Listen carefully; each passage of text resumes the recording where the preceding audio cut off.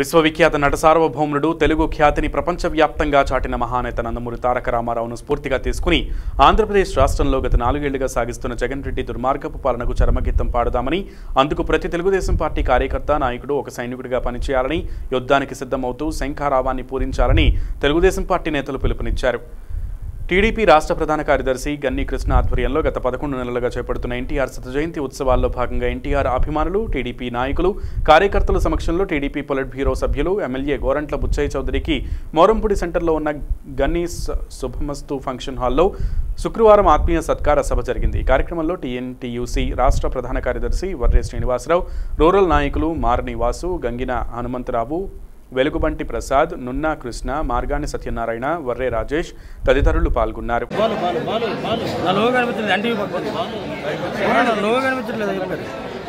వంద సంవత్సరాల చరిత్ర నందమూరి తారక రామారావు శత జయంతి ఉత్సవాలు దేశవ్యాప్తంగా ప్రపంచవ్యాప్తంగా ఘనంగా జరుగుతున్నాయి ఆ మహానుభావుడి నీడలో పెరిగిన వాళ్ళకి ఇది కూడా బడుగు బలహీన వర్గాల ఉద్దరణ కోసం మమ్మల్ని అందరినీ కూడా తయారు చేసి రాష్ట్రాన్ని బయట మండలం ముందుకోవడం కోసం తెలుగు జాతి ఆత్మగౌరవం కృషిలో మేము కూడా భాగస్వామ్యం సంతోషిస్తాం జరుపుకోండి కట్టించాడు ఈ రోజు నా రాజమహల్లో గణకృష్ణ గారి ఆధ్వర్యంలో అనే కార్యక్రమాలు జరుగుతున్నాయి. దానిలో భాగంగా నాకు కూడా సన్మానం నాకు సన్మానం నాకు కాదు. ఎవరైతే రామారావు గారు అభిమానులుగా నలభై రెండు సంవత్సరాలుగా అంకిత భావనలో పనిచేస్తున్న ఎన్టీఆర్ అభిమానులు అందరికీ జరిగిన సన్మానం ఇది. అందుకనే సన్మానాలు ఎన్నో చూసాం దానికోసం కాదు. పార్టీ కేడర్లో చైతన్యం నింపడం కోసం వారందరినీ గౌరవంగా పెట్టి ఈ సందర్భంగా మేమందరం ఒకటే నిర్ణయం.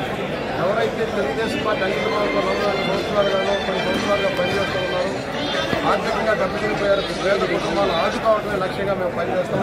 చంద్రబాబు గారు కూడా అదే విధానంలో చెప్పారు. భవిష్యత్తులో ఎవరైతే పార్టీ నిలబడి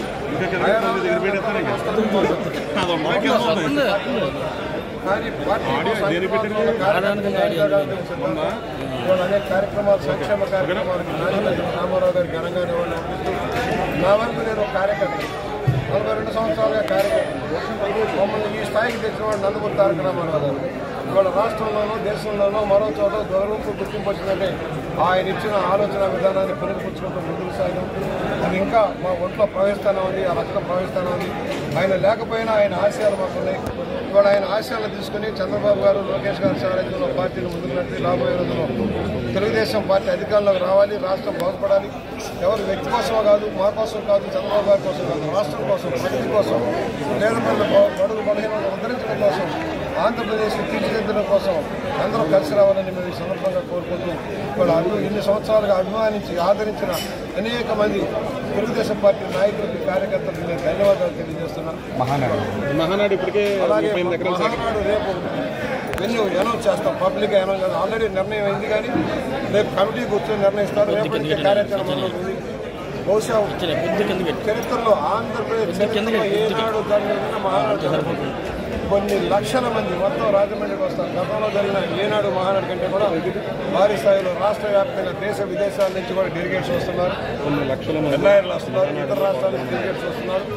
ఉభయ తెలుగు రాష్ట్రాల నుంచే కాకుండా కర్ణాటక నుంచి మహారాష్ట్ర నుంచి కూడా ఒరిస్సా నుంచి కూడా బాగా చాలా మంది తరపునపోతున్నారు దీనికి మొత్తం సమాయత్తం అవుతున్నాం నాయకులు అందరం కూడా కార్యకర్తలు అంతా కూడా సమాయత్తమై విజయవంతం చేసి బయట నుంచి వచ్చిన వాళ్ళకి పుష్కరాల్లో ఏ విధంగానైతే రాజమండ్రి ప్రజానికి సేవలు చేసి అద్వితీయంగా ప్రవర్తించి పేరు మహానాడు కూడా వచ్చిన అతిథులందరినీ ఆదరించి సమాదరించి సగౌరవంగా ఉండేలాగా చేసి ఈ మహానాడు విజయవంతం చేయడం కాదు.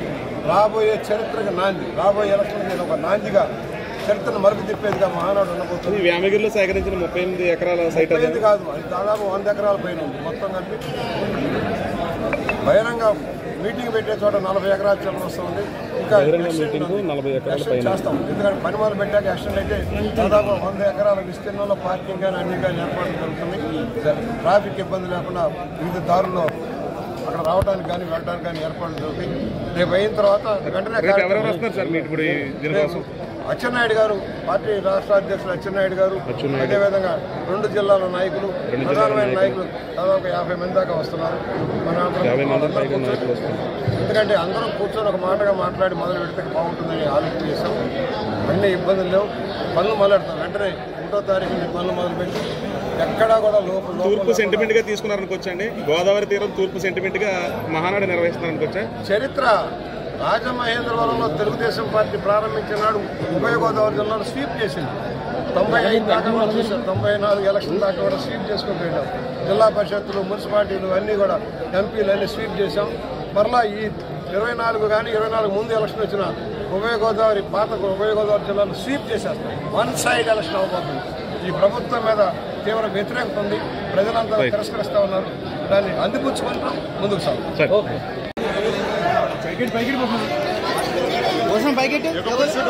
నందమూరి తారక రామారావు గారి శత జయంతి సందర్భంగా ప్రతి నెల కూడా కార్యక్రమాలు చేస్తాం రాజమండ్రిలో.